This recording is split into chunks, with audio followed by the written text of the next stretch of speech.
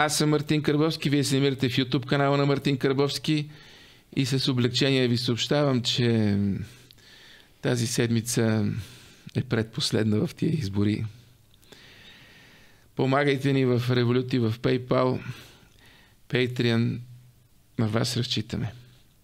При мен, преди първия тур на кметските избори, местните избори в България и в София, е Корнелия Нинова.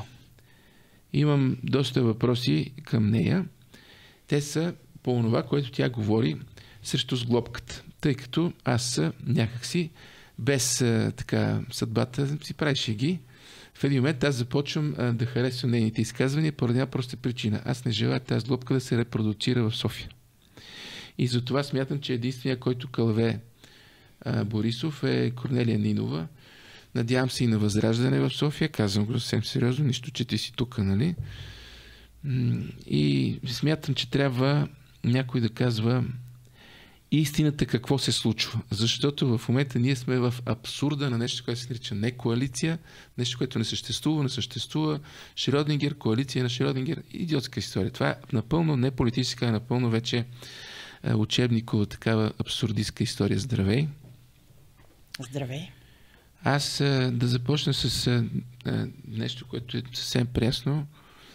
В един момент хукнаха да махат дерогацията на Лукойл – и, и, това, и това излезе от, от Борисов и от Делян Добрев. Нали така? Точно. Те как, какво е това? Защото аз се опитвам и за вас, и за себе си да намеря вътрешен човек да ми обясни какво седи на втория план за действията на политиците. Това се опитваме да направим и затова ни гледате. Какво, как така Борисов се сети за дерогацията, при положение, че преди два месеца пак беше дерогация, имаше Денков каза, ще си подам оставката сега. Ако искаш да разгледаме този въпрос в контекста на всички енергийни теми, Добре. защото в момента това е важната, важната тема, мисля, че стават а, сериозни тектонични размествания в При нас? енергетиката. А, в енергетиката. В енергетиката. Някой взима властта в енергетиката. А, сега да се опитам да обясня нашата гледна точка. Знаеш, тия тектонични плочи са ни литосферни плочи, които се събират и разделят в да. резултат на процеси под земната кора. Геоложки ви го обясня. Да. А, и обикновено следва земетресение. Да. Така ли? Да. При това разместване... Не знаем тя... колко силно, нали? Никой не знае. А, тоест, а, в момента става политическо разместване и не е изключено да имаме и земетресение. Дано mm-hmm. да не отнесе всички къщи. Така. Какво имам предвид? Слушай. А, според мен става а, огромна битка в момента между лобита и интереси за овладяване на огромни парични потоци. За ПВО само или още по-голямо? О, не само, защото имаме а, три сфери на, на внимание ядрената енергетика, продажбата на двата ядрени блока на Украина, кръсна ядрената енергетика. И то много странно, в момент в който тя е призната за зелена енергия. Затваряме. И Европейската комисия го призна и е най-чиста енергия. Затваряме ли го това проект? Още, още реактори? Те го затвориха. А, Белене с решение дори на Народното събрание и на Министерски съвет. А, и виж, в Европа в момента Франция започва 14 нови проекта. 14 ядрени. Mm-hmm. Румъния 2 и така нататък. Второто, втората гореща точка са въглишните централи. Mm-hmm. Германия отваря в момента затворените си вече въглишни централи, защото вижда какво се задава през зимата. Факт, чакайте, чакарите казват, че не са толкова много отворените въглишни централи, над две били, нещо такова. Сигурно ще ги увеличат, но е факт. Самия да. факт, че започват обратен процес. А, при нас пътя върви към затваряне на въглишните централи. И то е антиевропейско, да го да. кажем така, на уж евроатлантиците. И Лукал, разбира се, Европа ни разбра, че не можем да, да издържим без руския петрол и ни даде тази отсрочка до края на 24-та. Тези искат да я, да я съкратат. В момента да започва и то сега и веднага Лукал да работи с неруски петрол. Но ситуацията в света много се промени след войната в Близки изток.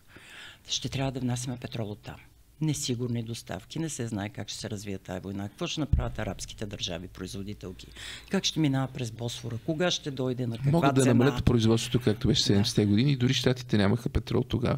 В един момент арабите казват, спираме да произвеждаме. Не знам доколко паруснаците са по-сигурни от арабите, но това е друг въпрос. И?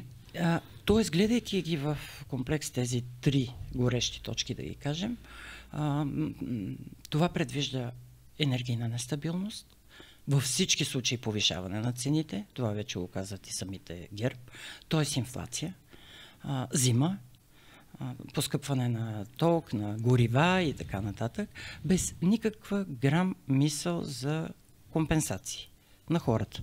Тоест последствието ще е обедняване, повишаване на неравенствата, удар по българската економика, не бива да забравяме и това защото българската економика потребява енергоносителите.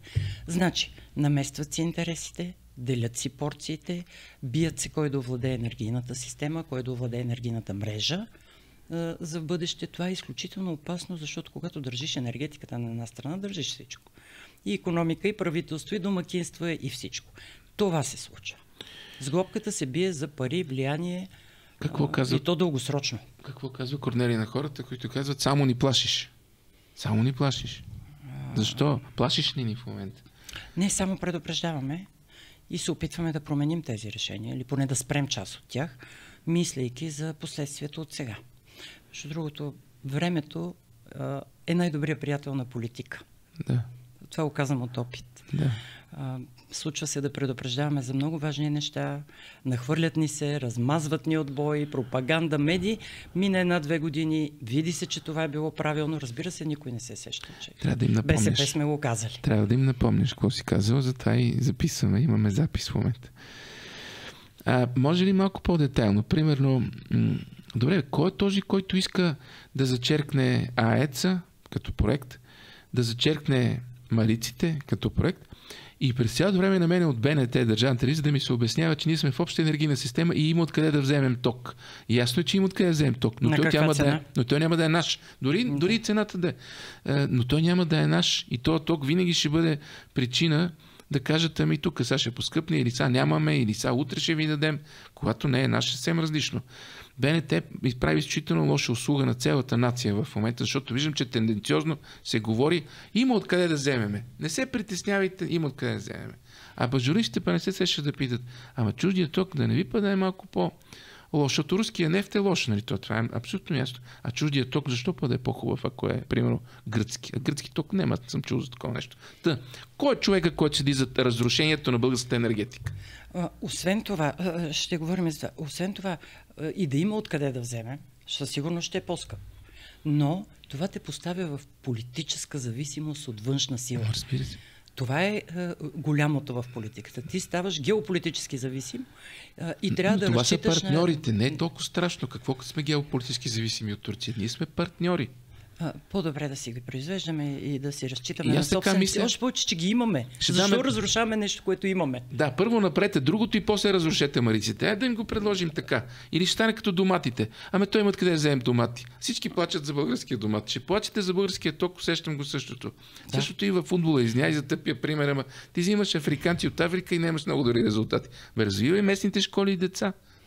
А, между другото, вчера призовах Днеска са събрали там с глобката някакъв консилиум да решават за Лукойл.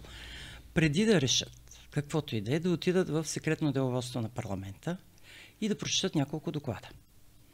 А, има там няколко доклада на службите. Ако не вярват на службите, да извикат експертите, да ги изслушат и едва тогава да взимат решение. Защото те взимат политическо решение, което изобщо няма нищо общо с действителността и с последиците за България предателства на националния интерес в името на това да оцелее правителството, да оцелеят политически, да се спасят кой от Магницки, кой от нещо друго. Това е. Тези хора грам не мислят за България и за българския народ. Сега, възможно ли, понеже някой иска да се спаси от Магницки, да рискува енергийното бъдеще на една нация, която демографски си отива и е закъсала и е най-бедната в Европа? Това възможно ли да се случва за политик, който 20 години се прави неотговорен? Еми, ако си Бойко Борисов е възможно в последните години цялата държава е заложник на спасяването на този човек, на оневиняването му. Виж какво стана с съдебната реформа. Тя се сведе до закриването на делата на Бойко Борисов. Тук имам чакай въпроса ни бързи коментар за прекратяване на чекмеджетата и на Барселона Гейт. Е коментар. Да, с, с цялата съдебна реформа беше подчинена на това да го спаси. Mm-hmm. Това беше и условие да се състави правителство. Борисов им казва на ПП и ДБ, ще ви дам цялата власт, ето правителството е ваше, Вземете. управлявайте, правете каквото искате. Това е против интересите на ГЕРБ, против интересите на избирателите му. Всичко разпродава, само той да се спаси. Но срещу това ще се прекратят делата. И съдебната реформа се сведе до това. За сега единственият ефект е прекратените дела на Борисов а, без някаква справедливост, бърз процес, хората да почувстват, че има прокуратура и съд на място, нищо подобно. Уневиниха го и съдебната реформа приключи. От това, според мен, най-много губи Христо Иванов. Това беше смисъла на съществуването на, на ПП и ДБ. Корнелия Нинова се е загрижил за Христо Иванов. Това е ами, малко не правя някакви изводи, защото това също е отстъпление от политиката. Христо Иванов не е от вчера в политиката.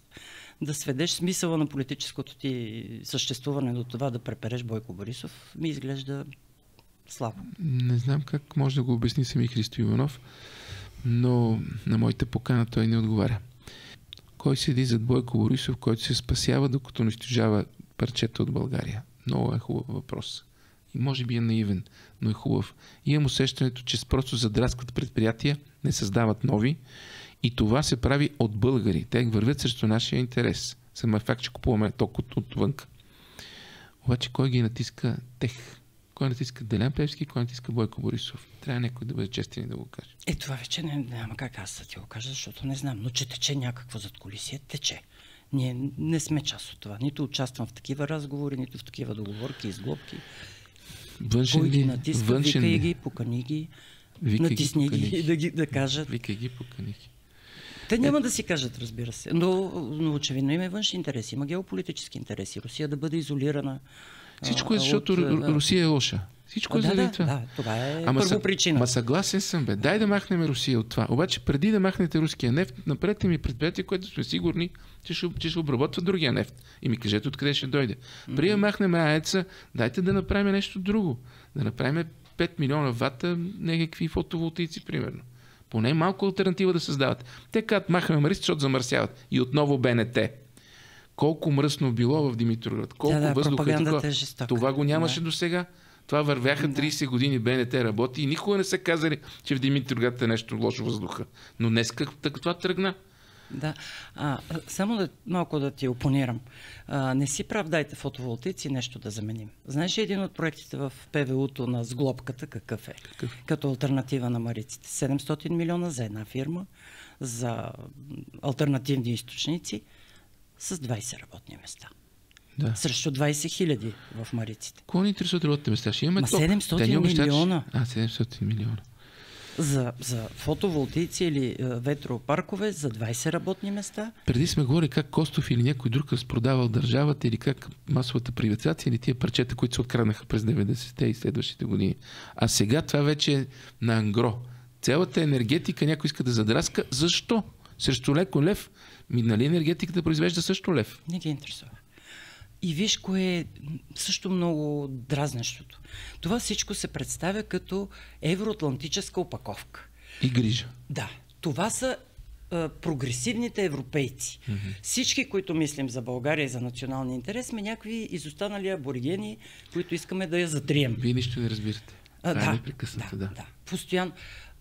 Ефектът от това е, че постоянно се увеличава евроскептицизма. Няколко пъти им го казвам в очите от трибуната. Хора с това поведение, а, вместо да, да повишавате а, желанието на България да е в Европейския съюз, увеличавате броя на евроскептиците и го отдалечавате. Не. И виж парадокса. Евроатлантиците убиват европейското бъдеще на България. Не са евроатлантиците. Според мен натиска е през океански и оттам някакси като рикошет европейците абсолютно изпадат от кошницата. Европейски идеи, ценности, Европейски съюз, Шенгени, Евра. Всичко това вече ние като виждаме как сме клекнали и как сме натиснати, не знаем от кого, нали? И си викаме сега това ли е Европа? А ние не сме натиснати реално па директно от Брюксел. Нали? Мисля, че то намека хубаво и ти да го направиш. Да, даже Брюксел прояви разбиране, пак ще се върна на дерогацията на Лукол, като каза, окей, не можете да се справите, до 24-та ползвайте руски петрол. Е, те ненормални са. То... А, има много важен въпрос. Може ли е, Лукойл да обработва неруски петрол? Сега се оказа, че май може или не може. Експертите казват, че може, Да. А, но има микс. Една част да е руски и постепенно да се увеличава дела на неруския. Без инвестиция, но, без промяна но на мощност? С инвестиция, с, инвестиция. с технологичен процес, да. но не може да стане веднага. Именно защото е такъв процес. А веднага инвестиции... месец ли означава или година означава тази инвестиция? Защото то, айде, ако един месец имаме проблеми с бензина, айде ще, ще преглътнем работата пак ще кажа, не съм фен на руския петрол. Но той първо е най-близо и второ, не знам, мисля, че е по-ефтин, не съм по-ефтин, много сигурен да. вече. Но и най-важното, наш, нашата фабрика обработва до сега руски петрол. И понеже руски петрол е кофти, много е зле, дайте да го смениме. Но ако не може, ако може за един месец да го смениме, да го смениме. Или не искаме да го сменим. Сега пак на експерти ще се позова, защото не, не, не разбирам да учи на подробности темата. А, спомни си, че парламента взе решение до края на 24-та. Това решение Министерски съвет беше обсъдил с ръководството на Лукойл. И те казаха, да, можем, но ни дайте време до края на 24-та, технологично и там всичко, което е необходимо да направим, за да започнем и с неруски. Тоест, позовавам се на тях, доверявам се на експерти и казвам, сигурно до края на 24-та може да стане. Но сега и веднага не може. Да. Не знам колко ви е симпатична Корнелия Нинова. Аз винаги така съм на една ръка разстояние и много внимавам. Но ще кажа нещо, което се промени в общото говорене и психологията на тази нация последните пет месеца. А, Борисов е невинен. В един момент Борисов стана абсолютно невинен. Вече никой не му казва нищо. Дори днес казват това с дерогацията. Няма да правим дерогация, казва тук що казал Певски.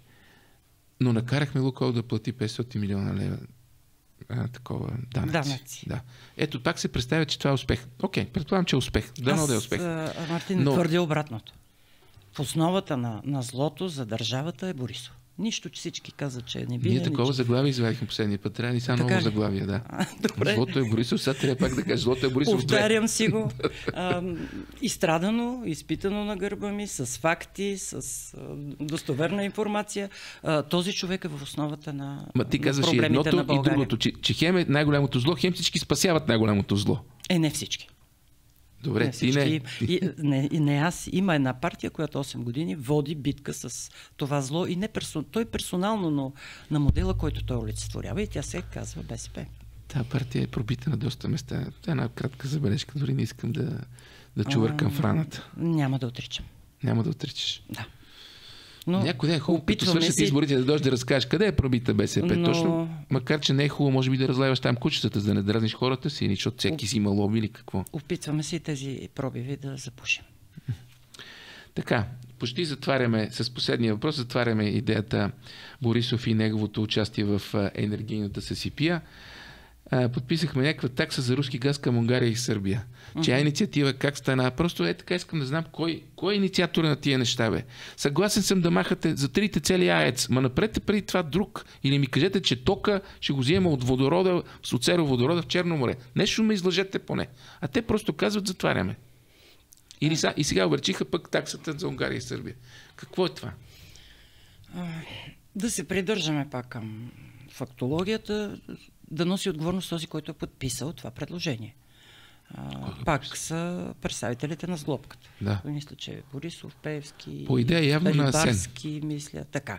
Сега, стана някакси традиционно, както да се казва, че Борисов е чист и невинен, така за всичко се обвинява Асен Василев. Що не? Не, че Асен е перфектен, има много неща, за които да бъде не. бит и обвиняван, но този път не е той инициатора, вижте подписите. Сега хвърлиха върху него вината, негова била идеята. Важно е какво подписваш. Борисов бил подведен стига. А какво е това всъщност? Така, увеличават таксата транзитната. Което ще спечелиме, не е ли? А, не се знае, може да е обратно. Сега ще ти кажа защо. Вероятно са мислили, че ускъпявайки доставките на газ за Унгария, за Сърбия и така нататък, ще направят а, руския газ по-скъп а, и ще принудят тези държави да търсят альтернативи. Да. Вероятно това са мислили. Което отново, кой, кой ги кара да правят това нещо?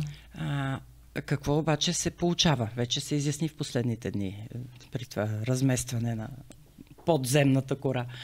М- няма да бъде по-скъп за Унгария и Сърбия.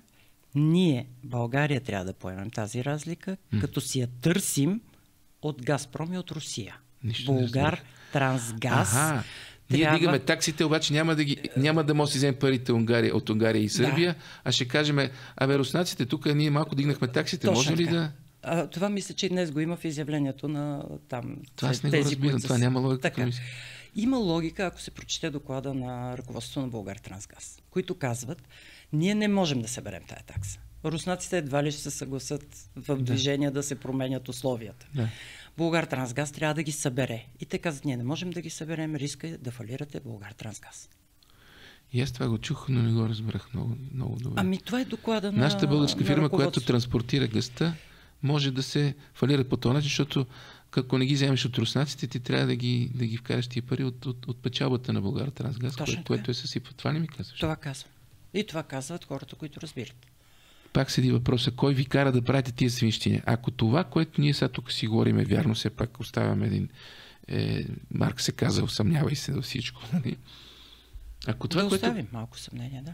Да оставим малко съмнение, но ако това всичко, което тук говорим е вярно, тези хора абсолютно безогледно, без идея за утре и за бъдещето, те задраскват предприятия, които работят. Точно така. И ако тогава ни излъгаха, че при 2006 ни излъгаха, че трябва да влезем в Европейски съюз, за да задраскаме първи и втори блок и ние повярвахме, това не беше толкова фатално. Но сега явно се задрасква цялото меню. Ние имаме някакво енергийно меню. Това ще ядеме, това ще ядеме, това е 5-6 неща са, нали? И сега те го задраскват. Ще и да правят нови павеци. За това казвам, че има риск за енергийната национална сигурност. И ги гледам в, в свързаност. Ядрена, петрола, въглищата, трябва да се гледа в, заедно всичко това, а не на парче. И, както знаеш, вода на недоверие за енергетика не мина. Как ще минете? Те в момента си преразпределят а, тези ресурси за десетилетия напред. Естествено, че ще се държат един за друг ще си подкрепят с глобка. Трябва да отворим тази тема, защото много Добре. Щяхме, но какво казваш на българите? Някой трябва да им каже на българите, взимат ви предприятието без нищо, без, без да ви компенсира с нищо, освен някой друг лев за, за роднините на властта, за фирмите на властта. Трябва ня, някой това да го изкрещи и да каже страшно е. Излезе страшно. Казвам им, събудете се, прогледнете какво се случва. Виж, последните три седмици съм денонощно някъде по градове и села. Виждам пак една апатия, едно отчаяние, че нищо не може да се промени. Страх. Ти представяш си, имах села в Родопите, които ги е страх да гласуват неправилно. Да, защото, а, защото няма... няма да им дадат дърва за обрев зимата. Пак ли това? Да, пак. В Северозапада ги е страх да гласуват така както разбират нещата, защото на възрастните хора ще ли да им спрат топли обяд от социалната кухня. Това е безумие в 21 век. Това е, това е съвременно робство. Свои да поробят свои. Остави външните фактори, които постоянно нали, съсипват България, ами и това. Просто у нас има такава хранителна среда, злото да успява да се самоорганизира. И аз започвам да мисля, че това е какво още биха могли да вземат от България, какво още, което могат да продадат енергетиката, последното ли е, или има още военно-промишлен комплекс, примерно. Ми, аз следа... Има ли още за крадене? Има я. Сигурно има. Аз следа примерно какво се случва в земеделието. Защото е ключово важно заради това, което се чува, че се задава продоволствена криза заради войната в Близки изток. Ти знаеш, че сега променят субсидиите на стопани, които гледат до 150 животни, им намаляват субсидията. Mm-hmm. А на такива, които гледат над 150, им ги увеличават. Yeah. Е. Какво значи това? Пак помощ за големите и пак убийство на малките фермери. А уж щеше да се преразпредели така, че да стимулираме малките и средни предприятия и земеделци. Yeah. Земеделието е ключов сектор заради храната и заради проблемите, които ни чакат с доставките, веригите на доставки, сега пък заради войната в Близкия изток. Естествено, никой не чува, ти ще кажеш сега, нали пак. Ще дойде време по-скоро, не след 2-3 години, след по-малко месеци и ще видите, че това, което казваме е така. Но, уви. Просто ще пуснем отново материал. Какво? Някой трябва да ми изкрещи на хората, че нещата, тренда е надолу. Просто всичко тия по дяволите. И това не е просто някакво такова ескатологично усещане за край на света, нали? а просто у нас всички се събраха и борейки Русия, те тъпчат България през цялото време. Мисля, че добре го дефинирах. Да, това е добро обобщение. Как, как така електората, обясни ми народно-психологически, електората на ППДБ и ГЕРБ им прощава тази глобка? Това наистина мислихме, че ще се разпадне след избори, преди избори, малко такова. То започва да се втвърдява, да се фосилизира някакси. Ще взема да изкарат 4 години. Защо мислиш, че Ами, защото няма кой да им се противопостави, щом хората са оплашени дори в Северо-Западна България за социалната си кухня. Явно това е като подче, дето го, го изговаряхме, се стигнало до чак до селото в феодално е стигнало до селото в Северо-Западна България. Не мисля, че хората не разбират и им прощават. Също така, пак ще се Прощават им, защото не излизат. Ще се позова на това, че съм на терен от три седмици. Според мен ПП ще се сринат много на тези избори. Има страшен отлив. Да, да. Виж, това, че депутатите горе с копчето зеленото се поддържат и си крепят интересите и се разпределят порците на властта, не означава, че електоратите им са доволни Но от ако това. ПП вземат София, ППДБ вземат София, те ще го бъдат като победа и ще се опитат да развият проекта си, дали с помощта на посолство или на някой друг и те ще кажат, ето това е нашия бъдещ премиер. Разбираемо, че си се фиксирал в София, най-големия град, тук се диктува политиката, но София не е България. Да, 2 милиона не е България. Пообиколете, вижте какво става в страната. Енергията, Важна е, енергията е в София. но, но не, не е България. Работата е в София, парите са в София. Аз пък нека си съчувствам на хората в малките населени места. Голямата политика се прави в големите населени места. Там са многото гласове и така нататък. Ама бях на такива места, че направо е си, че когато- Няма аптека, няма път, а, няма фелшер, няма училище. 10 души на, на един баир се мъчат без вода. Ми, и за тази България трябва да мислим. Да, никой не, няма как. А, спомням си, че не знам кои избори бяха, но аз с ужасно притеснение на едни местни избори гледах как България почервенява на картата нали, в изборната нощ. Нали, и си викам, тия пак се върнах. Сега те питам, има ли възможност да почервенее България? Има. Стига народа да прогледне и да оцени това, което правим. Коя е другата альтернатива? Ми, те, да си, те да решават, но да решават с разум, защото а, емоцията много пречи в политиката. Ето бе хора, и сега като ходя обяснявам по, по срещите. Да. А, какво направи БСП докато беше в правителството? Какво? Как, какво е да имаш лява партия в правителство? 20 милиарда в първите, първите месеци на войната в Украина. Беше ад тогава. 20 милиарда. Безплатни детски градини и ясли, увеличено майчинство, млади хора с деца с намалени данъци, за работници 200 лева ваучери безплатни, увеличени пенсии. Все леви политики. Това беше правителство на ППДБ и БСП лява. Да, за което ви опрекваме. Сега сравнете правителство на ППДБ с ГЕРБ. Какво научихме вчера?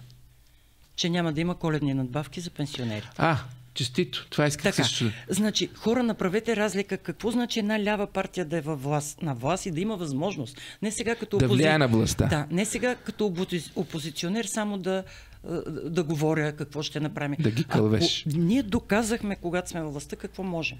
А първото място по индустриален растеж в България за 7 месеца. Сега са на 18-то. И тогава ни обвиниха, ма това е защото произвеждаме оръжие. Сега не произвеждаме ли? Защо паднахме от първо на 18-то? За 7 месеца изведохме България на първо място в Европа по А, това се счита за негатив в, в човешкия разговор долу при хората. Това счита за негатив. Абе, видяхме я и нея. И тя беше съюзник на ППДБ-тата. Да, в момента ви добре. казва, като беше съюзник, тя се опита да побутне малко така нещата, че левите политики, за които аз не съм фен, да мръднат малко напред. В момента, сега ги в няма. момента това е за, за пенсионерите е жесток удар. Особено на задаващото се повишаване на цените без коледни надбавки. И още нещо. Да излезем отвън. Верно, че беха подаяния тия неща, ама все пак си 20 беше важно. милиарда хора в този труден момент никога толкова пари не са се отделяли от един бюджет за социална политика. Инфлацията ги изяде, безспорно. Да. Аз съм обективен човек. Но, а представете си без тези неща, как ще да живеят хората. Нещо друго да ти кажа. Извън това, когато бяхме в онова правителство, спряхме Тагарев да стане министр на отбраната. Персонално съм го спрял. Да. А, персонално съм казала на Кирил Петков, ако този го слоеш, ние напускаме правителство на часа, подписах му, разписах му, край. А с глупката. Какво става сега, когато БСП не е във властта? Какво прави Тагарев? На чие министерство служи? На българското на отбраната или на бившето, в което е работил? Украинското. И е такива разни неща. И това казвам на хората. Избирайте с разум. Партия и хора, които не са ви предали, които когато са ви обещали нещо, са го свършили. И другото ни, другия ни плюс е, че през всичките тия години не се съгласихме да влизаме в подобни сглобки и зад колисия. Какво ли не са ни предлагали? Останахме верни на себе си. Не, това е как да го докажем. Е, факти. Е, Колко пъти Борисов кажа, канеше за коалиция? Две неща, едното лошо, другото добро. Някакси в момента в този разговор, защото аз този разговор го водя почти непрекъснато с много хора, ми се прииска да кажа, имаме нужда от БСП. Аз, който 89-та година побесня, когато, когато без БСП спечели първите избори и аз бях толкова младо момче. Сега не мога да кажа, имаме нужда от БСП. Но ще го кажа по друг начин. Имаме нужда от опозиция. Има нужда от опозиция на всяка цена. В този момент имаме нужда от тотална опозиция, защото им е все едно дали е БСП. Искам котката да лови мишки. Защото ако, ако това продължава, ще се видим в чудо. Ще ви се види в 96-та година, не на, не на тебе, на тях, ще ви се види 96-та година а, мет и масло, нали, както се казва. Просто имаме нужда от опозиция. И аз не я виждам тази опозиция и освен това имаме нужда от медии, които са в опозиция. Поне малко от малко е, БНТ да разкърши малко снага. Ясно е за други тема. Поне БНТ да не, да не прави онова, колко е важно за Украина се дава оръжие Ораза Тагарев и колко е кофти, че е, мариците замърсяват. Това просто си личи от всякъде вече. И познавам хората, които го прати, си викам, дай да видим сега, що го правите? Ще взема да ги срещна и аз. Е, това, че не виждаш опозиция, малко Обидно е за тебе, да. За това как, че това е лошо отношение от моя страна, но не мога да се извинявам. Казвам ти, че имам нужда от опозиция, а не виждам опозиция, може би, защото не ви отразяват. Няма какво се лъжиме. Да, да, Колко... има, има Влизаш новините, клъваш го и, и, и, и спират на, на 15 секунда. Така да. ли? Казвам, понякога, като гледам вечер, вечерно време новините в къщи, имам чувство, че не съм била в този парламент и в тази зала. Ама коренно обратно се представят нещата на това, не. което през деня сме направили. Пускате. Мене не пускате, още те пускате, разбираш. Е, малко. Искам да ми кажеш това, което а, винаги ме е притеснявало и преди 5 години или повече беше 2015-16, мигрантската политика. Тогава беше все едно наистина О, да. свършика на света.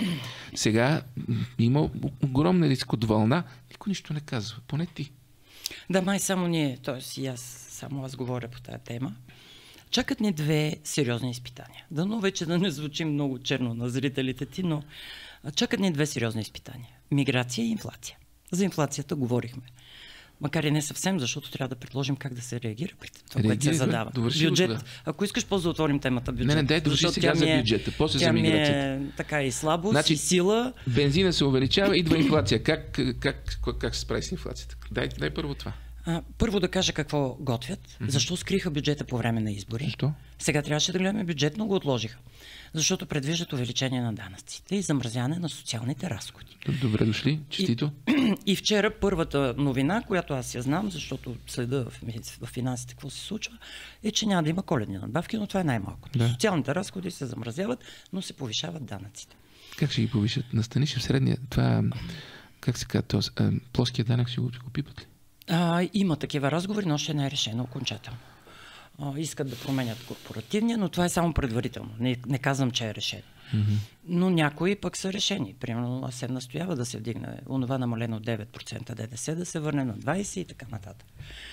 Сега, а, по темата бюджет. Това, което се замислили е финансова тесла за хората и, и социална тесла. Така не може да тая година да приемем бюджет за до година. Какво си изразят теслата все пак?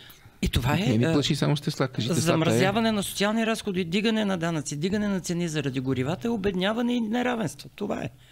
Това трябва да се компенсира по някакъв начин. Има две линии, трябва да търсим на компенсация. Първо, непременно да се погрижим за економиката, особено за малки и среден бизнес. Пак общо казваме това, твърде. Така, не е общо, защото искам да припомня какво направихме по време на нашето правителство и когато бях министър на економиката.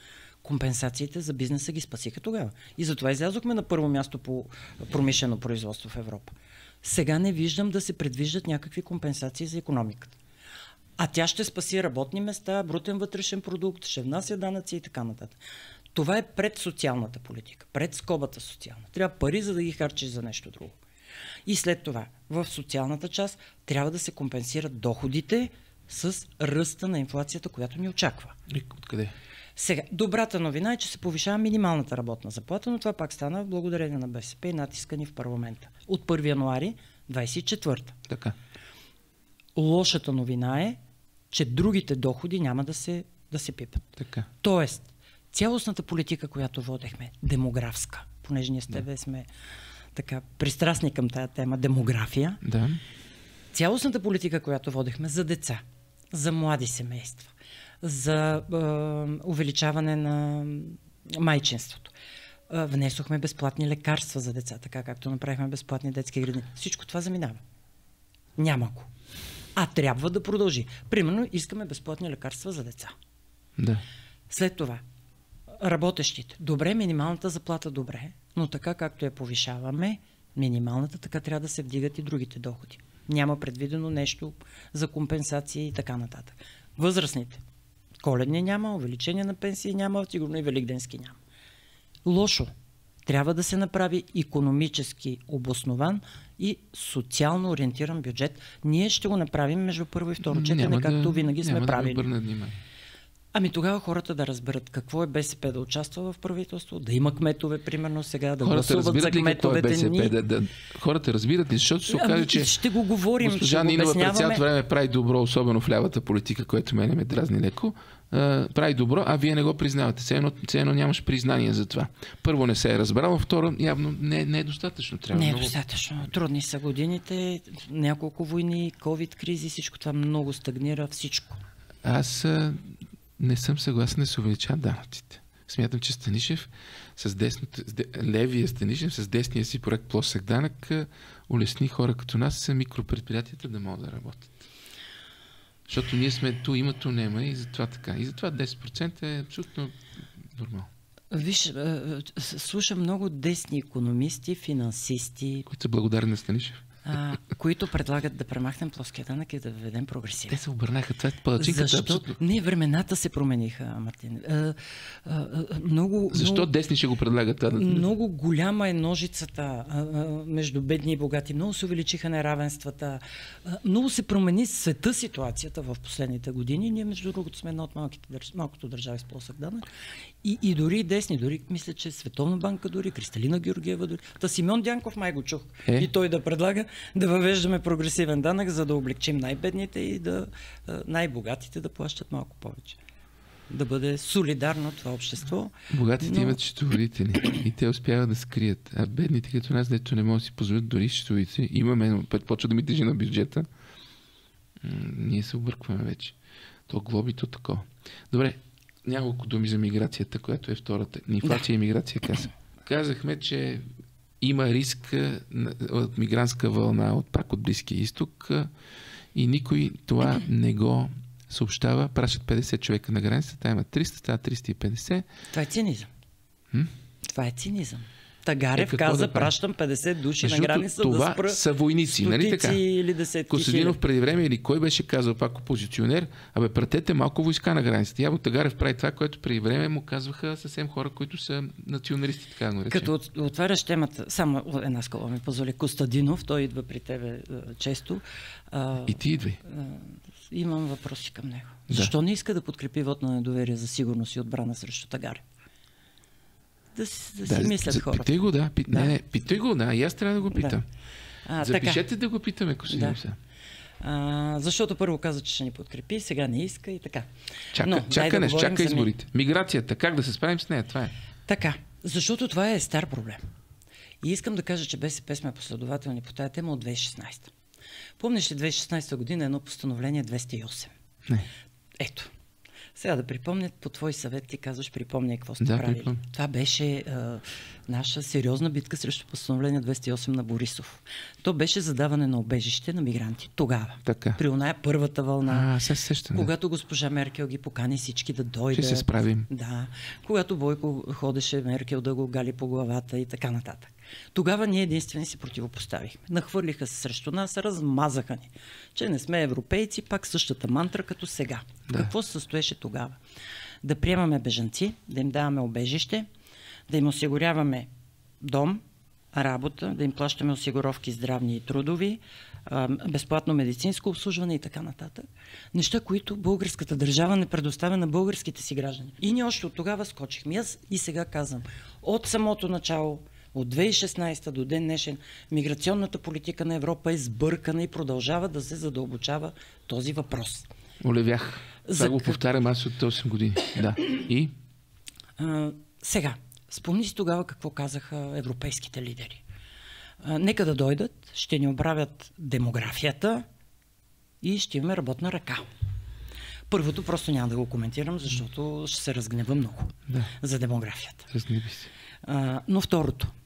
Ще ти дам малко числа от 22 година. В Германия, не при нас, от 800 хиляди сирийци и афганистанци, официална статистика е това, само сирийци и афганистанци, без другите, от 800 хиляди, 250 са започнали работа. Хиляди. 250 хиляди. Да, защото може и с 250 да се 250 хиляди са започнали работа. Да. Другите? Социални помощи. Да. И натоварване на социалната система на Германия. Ето. Не знам дали ще им оправят демографията, но няма да им оправят економиката. Ще им оправят. Ще им разрушат, т.е. разрушават социалните системи. Един германски предприемач решил да си направи експеримент. Наел 25 бежанци да ги обучава за медицински сестри, защото нямат медицински сестри. Да. Знаеш колко завършили курс? Колко? Три. И знаеш колко от 25 станали медицински сестри? Един. Какво намекваш? Че причината да, да, да тръгне миграционната вълна, че да ни оправи демографията и да си осигурим работна ръка, Излагаха. не се случва. Излагаха Напротив, ви.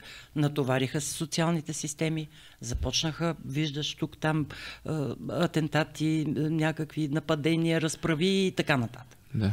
Сега какво предстои? Какво? Идва нова миграционна вълна от Близки изток. Ще е, дойде. Да. Всички го признават. На 4 октомври в Брюксел на съвета е взето решение от европейските държави за нов регламент за миграция. Ура. Повтарям го от 10 дена всеки ден, е където стъпя и, и мина през страната това и не никой е не си отваря очите. Зависи какво пише в този регламент. А ние не знаем ли? Ами, според мен българския народ не знае. Ай ти не знаеш. Не знам, не знам. Казвам, да. не знам, не знам. И питам правителство, питам Габриел, питам Борис. Никой мълчат си. Какво се решава там? Всички държави да приемаме квоти от мигранти. Това, което и преди сме го дъвкали. Това. Същото, за това, за това започнах от 2016 да, да, да припомням какво беше, да не се забравя. Държавите, които са приели много мигранти, са им дали убежище. Вече. Да. А не сега тия, които ще идват. Тия, които вече имат обежище. Да.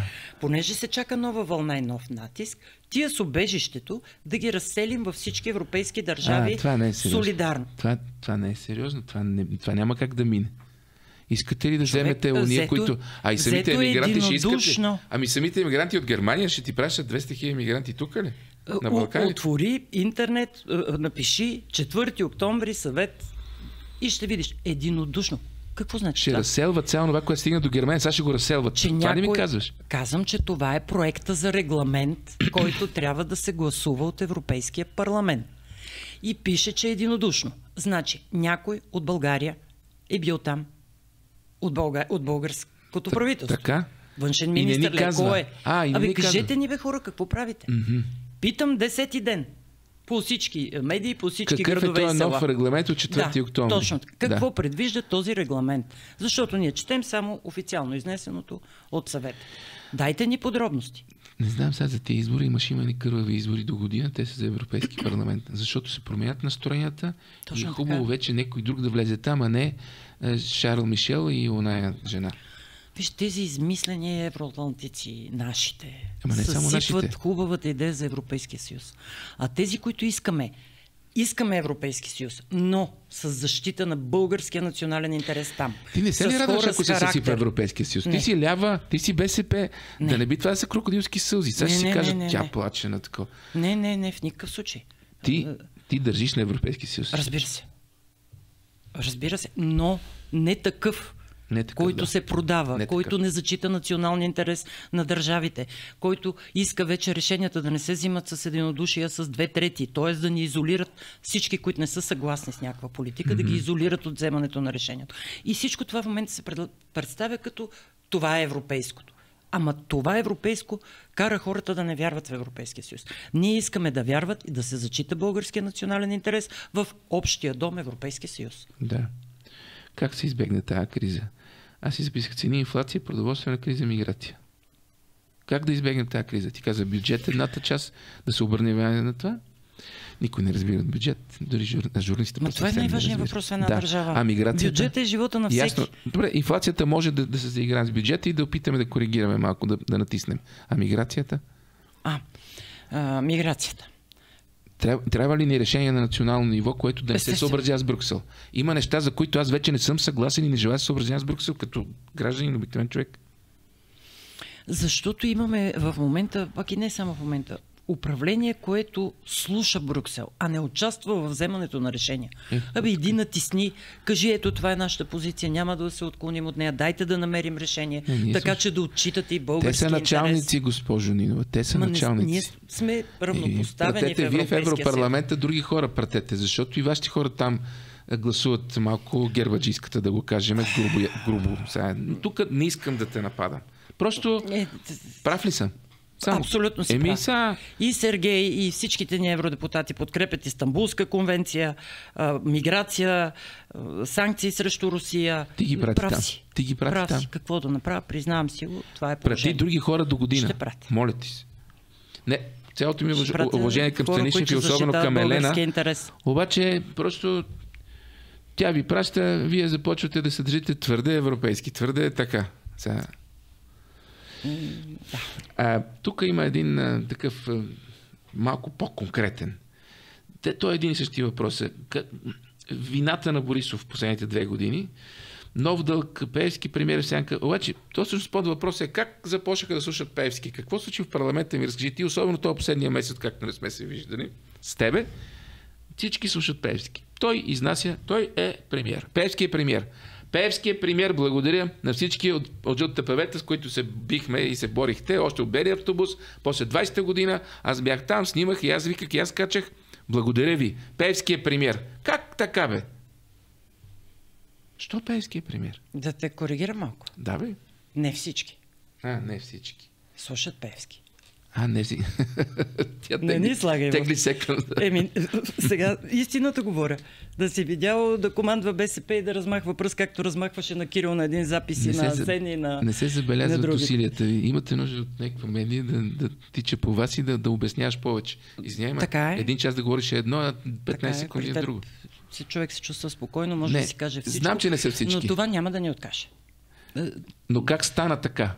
Ти какво видя там? Певски си мълчеше и никога не е давал интервюто. Той от микрофоните казваше благодаря ви, няма. И си тръгва. А сега се изправя. Това е съвсем различен друг човек. Не се изправя. Той взима решенията, обявява ги от името на, на мнозинството. Да, да, да. Те дори, решава кризите. Те дори не са му аватари. С, те, те дори не са му аватари. Да, с, да. Как стана това? Нямам представа, не участвам пък, ти не участваме в тия разговори. Десните да питаме, ППДБ да питаме. С Бойко е ясно. Той, аз ти казах, всичко ще почини на собственото си спасение и Певски да го командва. И ляга и става и това нямам съмнение. Той за всичко ще е готов. Ще си продаде и партия, и народ, и всичко. Абе, Десните са ми интересни. Антонета Цонева депутат ли? Да. А това е Цонова и Козилата, те бяха хора, които са минали пред... Не, не ме обичат, но минаха тук през моето студио. Не тук, преди 10 години сигурно беше. Абе, те сега не моля да дойдат да ги поканиме сега и да кажат, бе, вие как така допуснахте и как сте съгласни по този начин да, да се стават нещата? Много голямо предателство е това в последната една година. Не получих отговор на въпроса как стана така, че всички слушат Певски. Не знам как стана, БСП, казвам. Отговора ми е БСП не слуша Певски. Питайте ги тях за какво са се събрали и търпат да ги командва. Нас Добре. не ни командва и Най... не ни размахва пръст. Няма да позволим. Е, дано. Абе, като ходиш извън София, защото в София нещо не я виждам, това е въпрос от нашия екип. Има ли критична маса хора, които осъзнават, че не сме на прав път? Ме ми струва, че няма. Ме ми струва, че кремешите и телевизията по този начин е абсолютно достатъчна на всеки млад и не толкова млад човек да продължава по същия начин и това да продължи не просто 4 години, а да се заформи една тясна еднопартийност, която се нарича нали, брюкселска, евроатлантическа и тя да управлява от 2006-та насам, без да дадете възможност за никаква опозиция и постепенно да заглушавате опозицията. И като медии, и като политик. Защото аз сега ще се заявам с тебе, нея ми ще предрека нещо страшно. Има риск да те сложат и тебе в едно мазе. Защото ако така продължава и тенденцията е това, едно БСП просто го зануляват, ами вие вече не сте толкова важни и ти вече дори да не мога да говориш. Има риск от това нещо и това трябва да го видят хората. Мога да не сте били комунисти, мога да, да ги мразите. Какво ще ги мразите, като гласувате за внука на, на десетата? Но вие трябва да разберете, че имате нужда от опозиция. Вие трябва да разберете, че някой трябва, трябва да, да се държи различно от всички, които се държат еднакво. Опитвам се да, да обясня и твоето поведение и, и заплахата за, за всички нас. Това вече е еднопартийна система. От четири парчета, от четири ТКЗС, от четири земеделски партии. Така го обяснявам аз. И по-лошото е, че ако не си съгласен, добре, там направили си сглобката, но ако не си съгласен с нещо, следва жесток отпор. Ти си сложен в един кюб на някакви аборигени, както ти казах, на някакви неразбиращи, но понеже за БСП каза, ние години наред търпим това отношение. Искам само да ти кажа, че на времето решението да се намали субсидията на партиите беше единствено с цел да се убие БСП. И, ни, и ни създадоха голям проблем. Ние имаме финансови затруднения. Това не слави предложение. Финансов... Не, преди още. Да. Финансови затруднения на Бойко беше. Да. Финансови затруднения от тогава. Да. Но това беше начин да те обесилят. Да. Ами, всичките ми вътрешни опозиции, да. Е, преврати и така нататък. За които не сме говорили още. За които не сме говорили. Ще е хубаво Откъде идват? Откъде по, идват? По идейни съображения. Откъде идват?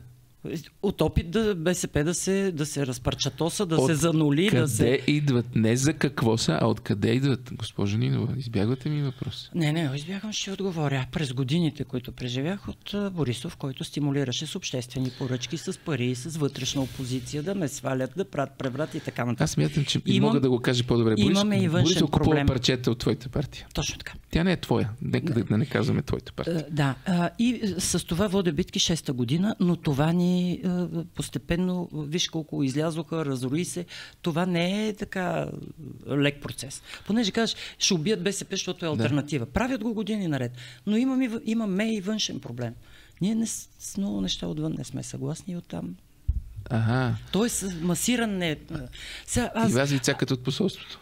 Извинявам се, толкова грубо ли го казах? А, аз нямах предвид това. Да, аз имах предвид европейските структури. Да, от Брюксел, Вицак. А партията на европейските социалисти по-конкретно. Нямаме проблем с Брюксел, имаме с ПЕС, защото имаме различия. Имаме различия по Истанбулска конвенция, по миграционна ПЕС политика. вече не е лява партия, тя е неомарксистска и труцкистска партия. Ако ще трябва лява партия в, в духа на Благоев, това БСП още не се е изгубила. Още не се е изгубила. Ама, знаеш колко, колко е трудно? Да те бият и отвън, и вътре, да ти разгълват Ама... партията и да, и да устоиш. Дали, как да, излезе това отстрани, аз да и се оплаквам как съм изгонен, тя да се оплаква как. Борисов купува парчето от БСП, ми купува малко, той не се обажда. Некой ме казал, аз знам какво съм казал, те съм казал, този офроуд не се съобразява. И затова дори предложение за купуване няма, което вече ми е много обидно. Нали? Чак па толкова да не става. Ама не е само БСП, той е добър разрушител на всякакви партии. Не, той купува. Не знам, да. не знам как това ще, ще, ще продължи и колко, колко дълго може да продължи цялото ни живот.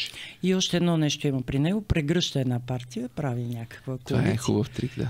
Унищожава я, изхвърля я и търси следващата. С БСП той не можа така не и можа. затова по-отделно и ви Рони. Точно. Изрондване се нарича. Това, това е една от причините да губим гласове. Да. Не, че ние сме безгрешни, разбира ами, се, но... Е, имиджа ви е такъв, че все едно трябва да умрете. То това е все едно, то е като Русия. Голяма страна, голямо минало, голяма история, велика победа. Нали? Това, вие го имате в историята си, като партия също. И в един момент това трябва да умре. Кой реши, че това трябва да умре? И ако това умре, коя е опозицията? Ултралевите ППДБ-та ли? Това е кошмар. Това е кошмар. Това е чисто комунизъм, най-отвратителен сексуален комунизъм. Те ще направят жените общи скоро. Ами, сексуалното възпитание. Всички, не, няма да направят жените общи. Ще накарат така всички да бъдем жени. Това е още по-зле. Е, да, това е дълга тема. Можем да говорим за третия социален пол. Това ми е също една много имаме дълга доста, лична битка. Имаме но... доста теми, запиши ги тия неща, които сега. Особено да. разпада на БСП, защото тя трябва да дойде един ден и да каже е, Борисов направи това, това, това. Купиха то, то и то. Нека ще трябва така. Ще, ще трябва някой път. Знам, че не искаш да говориш по тия теми, но... Айде. Не сега. То е, че цяла България знае. Гергов с дупката, Добрев с поръчките. Не искам сега, защото е нямаме време. Да. да. Имам последен въпрос, много важен. Но не ми хареса думата разпад. Няма да се Не съм казал разпад, как че ви чопнат Няма и ви да се разпаднем. Ще удържим и този път. Аз пощях да кажа дано. Аз, който скачах, кой не скача червен, нали? Какво става? Кърбовски, какво става? Така, Иска ми се просто да има опозиция. Обясни го, не е нужно да, ми, да се шегувате с моята позиция.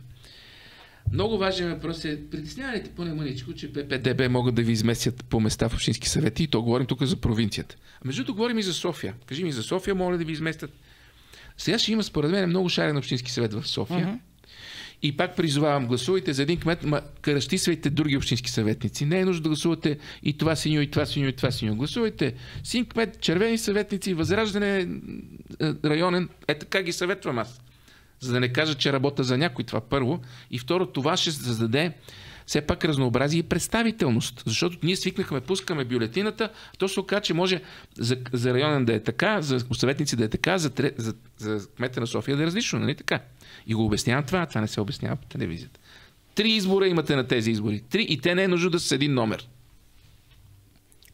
Та? Така е.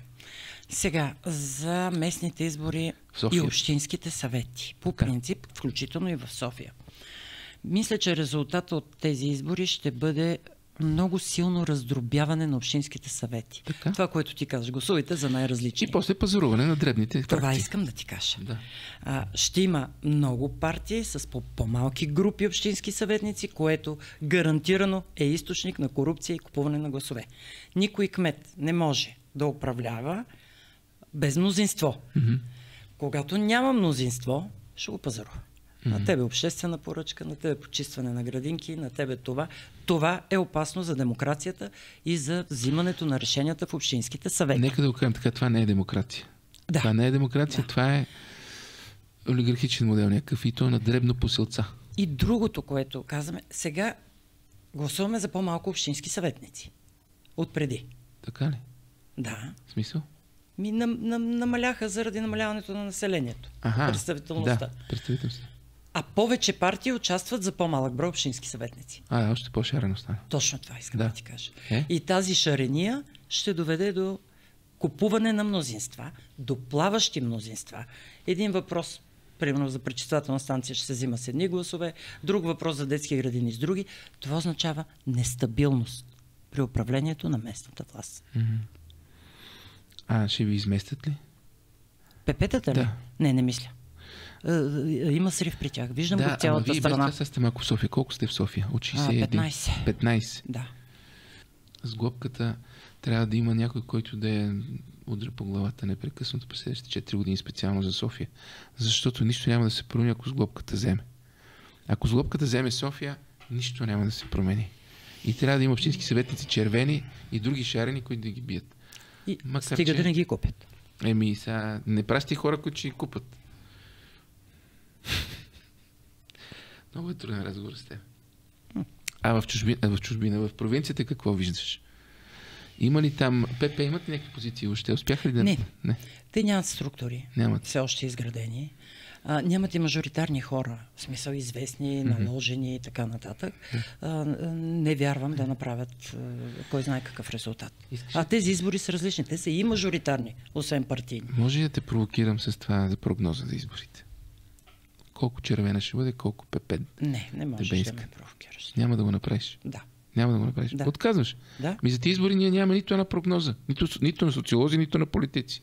Ми, защото е много... Много е сложно.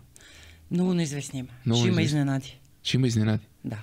Ще има изненади. И вероятно София ще има изненади. социолозите вероятно не искат да се ангажират. В София ли ще има, ще има ли изненади? Не, не ми отговаря и на това. Благодаря ти за този разговор. Беше доста човешки. А, това се опитвам да правя тук. Трябва да кажеш нещо на избирателите. Първо, защото искам да, да дигнеш малко оптимизма, защото много, много свлякохме според мен този път. А на мене новината, че може да няма опозиция в тази страна, ме връща 35 години назад, когато нямаше опозиция в тази страна и аз бях в казармата и това беше един мрачен, умиращ социализъм. С извинение към твоята любов към социализма, нали? И сега виждам, че това е един мрачен, умиращ не капитализъм, не пазарна концепция, глупости, би, биологично отрицание, отрицание на биологията, отрицание на географията, отрицание на, на нормалността, която сме учили в училище. И затова е хубаво сега да кажеш наистина за 30 секунди, една минута, нещо, което е така, удари по масата, както се казва.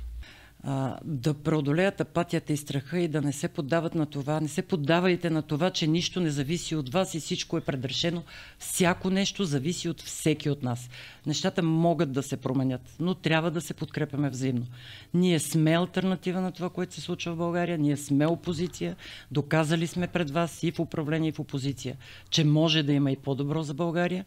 И накрая една известна фраза ще използвам на известен човек – Изправете се и те ще паднат. Горе главите. Ще се справят. Кой човек е той известния?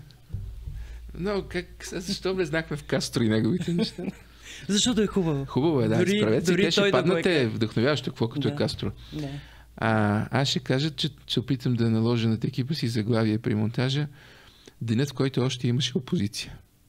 И ти пожелавам да имаме опозиция. Дай да си пожелаем заедно за нова година да има опозиция. Ще вземе след нова година да се будиме без опозиция. Хора, не, казваме ви това не, вече. Не, не. Нали? Ще има опозиция и ще има хора, които ще подкрепят много на тези избори. Обеща. Сигурна съм. Обеща. Да. Пробуждане ще има. И помисли от сега да започнеш кампания за европейските избори. И ще ти кажа защо. Защото правите кампания в последните дни винаги и защото една артилерийска подготовка за читави хора, млади, които трябва да отидат там, съвсем различни вече. Съвсем различни, които няма да се продадат на, на неомарксизма. Категорично. Нали, нали правиш разлика между това, което ти си като социалист и неомарксизма и троцкизма? Нали, да разбираш? Не, не, не, а, аз не правя някаква грешка с тази разлика. Нали? Прави. Има огромна разлика. Просто това, което ни се предлага, е някакъв ужасяващ непазарен модел с някакви изменения в биологията. Това е пълна идиощина. Имаме дори вече примери. Скандинавски социализъм, имаме китайски социализъм с много пазарна економика в него. Нали? Имаме какво да избираме. Но у нас се следва някакъв безумен план на мадам Колонтай. Благодаря ти. И аз благодаря.